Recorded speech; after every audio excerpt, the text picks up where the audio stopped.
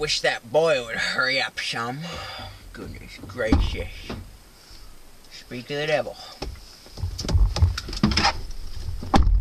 Alright, son, where are we headed to?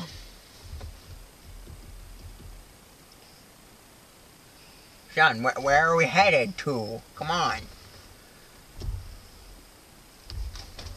Hello, where are we headed to? Oh, Dad, what? Like, chill, dude. I'm trying to ask you a question. Where are we headed to? You didn't clarify where you wanted me to go.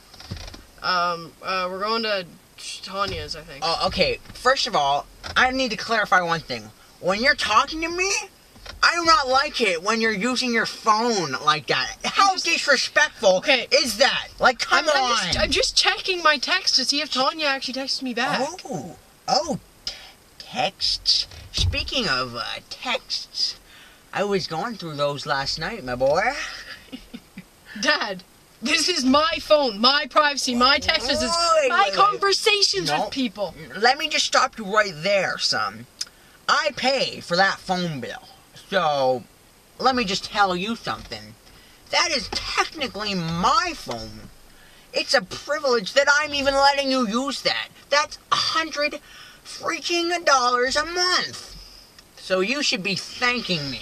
And and it is my right as your father to go through your text messages. No. I want to Dad, that's Tanya. Don't look through the phone again. Oh, Give it back. What is this? Oh Dad. la la!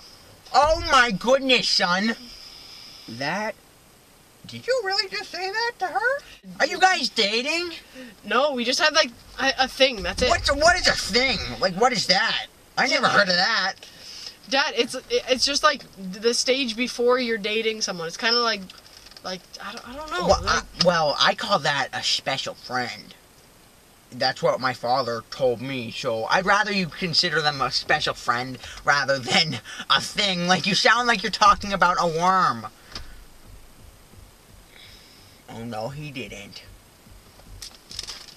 Dad, Dad, no, Dad, Dad, Dad. Yeah, that's what happens. You get them thrown out the door. Those are like a hundred dollars. Hundred dollars, my Like- butt.